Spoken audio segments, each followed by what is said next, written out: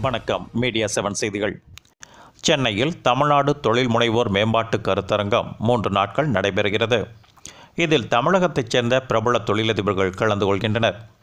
சென்னையை அடுத்த வண்டலூரில் உள்ள கிரசன் கல்லூரி வளாகத்தில் நடைபெற்ற இந்த கருத்தரங்கில் தமிழகத்தில் இருந்தும் வெளிநாடுகளில் இருந்தும் பிரபல தொழிலதிபர்கள் தங்கள் தொழிலில் முன்னேறுவது எப்படி என தங்களது கருத்துக்களை பகிர்ந்து கொண்டனர்.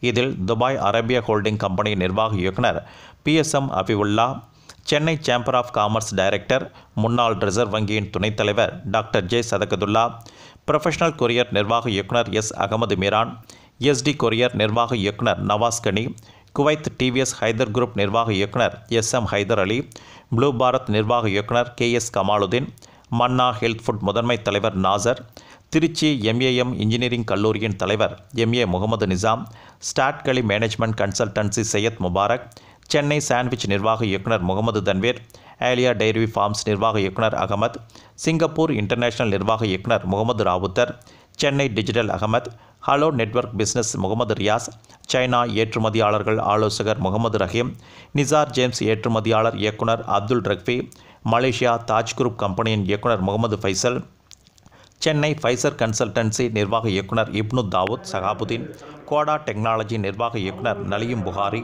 இஸ்லாமிய இஸ்லாமிக் வங்கி மற்றும் வட்டியில்லா தொழில் முனைவோர் இயக்குனர் முகமது இஸ்மாயில் சேட் ஆகியோர் கலந்து கொண்டு தொழில் முனைவோர்களுக்கும் புதிதாக தொழில் தொடங்குபவர்களுக்கும் தங்களது ஆலோசனைகளையும் உதவிகளை பற்றியும் கருத்துரையாற்றினர். இந்த மூன்று நாட்கள் கருத்தரங்கில் ஐநூறுக்கும் மேற்பட்டோர் கலந்து கொண்டு பயனடைவர்.